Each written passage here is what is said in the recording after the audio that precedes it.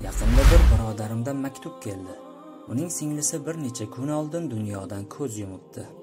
Alloh uni firdavs jannatiga kiritsin alloh darajasini ulkan va baland qilib oilasiga sabr bersin.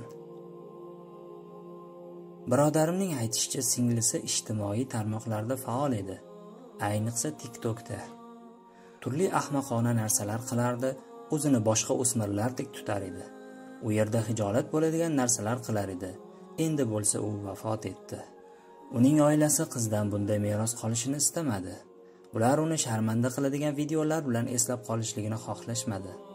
Shuning uchun ularni o'chirib tashlamoqchi bo'lishdi lekin afsuski o'chira olishmadi.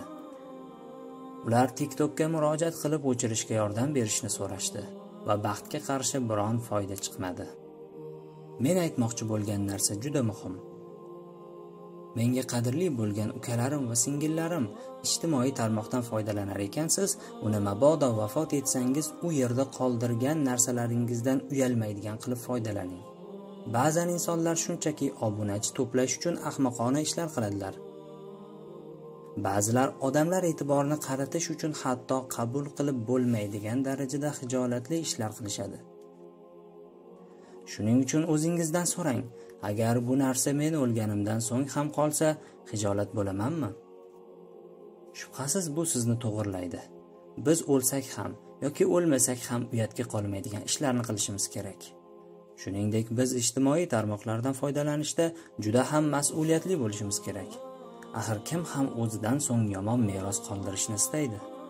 Shuning uchun uka singillarim bu nasihatim qisqa bo'lsa-da, sizlar ijtimoiy tarmoqdan foydalanishingiz kerak bo'lib qolganda mas'uliyatli bo'lishingizga kuch beradi deb o'ylayman. Alloh taolo bizlarni bu voqeadan ibrat olishimizni nasib qilsin. Vafot etgan singlimiz haqqiga duo qildim. Aminmanki Alloh taolo marhamati va mehribonligi bilan albatta unga marhamat qiladi. U qizning oilasiga ham duo qilaylik, chunki ushbu juda og'ir kunlarda insonlar ularga xatlar yozishyapti. Ba'zilar juda yomon xatlar yozmoqda. Albatta bu ularning ayblari emas. Bu barchamizda bo'lishi mumkin edi. Keling, ijtimoiy tarmoqlardan to'g'ri maqsadda foydalanaylik va Alloh taolodan bizga go'zal xotima berishini so'raylik.